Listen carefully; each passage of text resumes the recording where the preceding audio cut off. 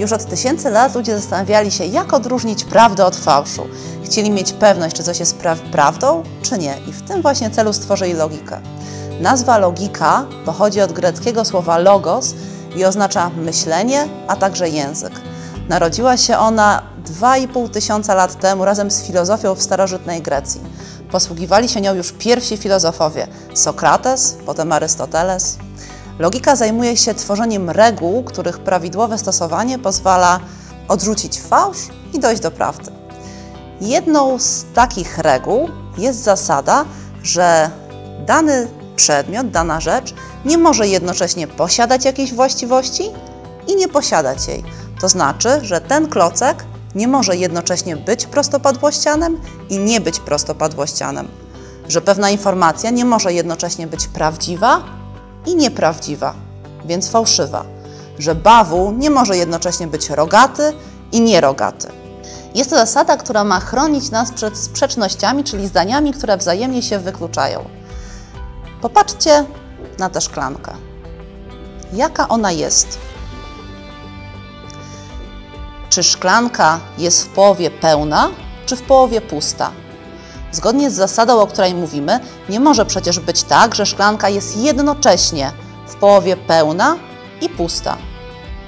Jeśli zastanowimy się nad tym chwilkę dłużej, dojdziemy do wniosku, że zdanie szklanka jest w połowie pełna nie dotyczy wcale szklanki, lecz jedynie jej połowy, tej, która jest na dole.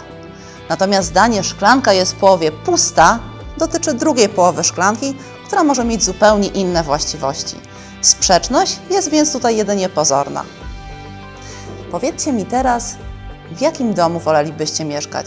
W takim, który jest y, solidnie zbudowany, trwały i bezpieczny, czy w takim, który ma słabe fundamenty i w każdej chwili może się zawalić?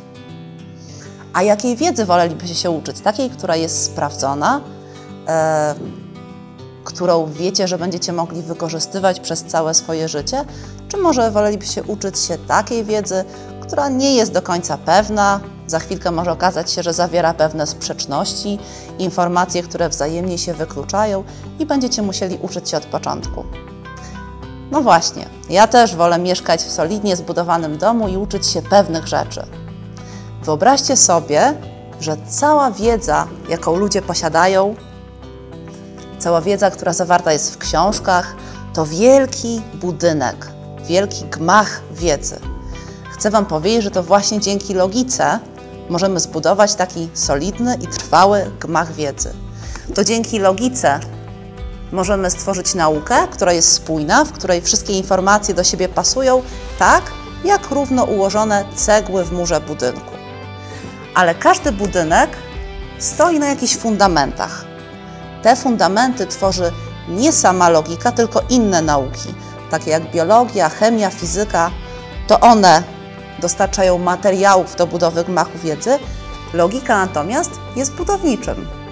To ona ustawia cegły jedne na drugich, budując kolejne ściany wielkiego, potężnego budynku.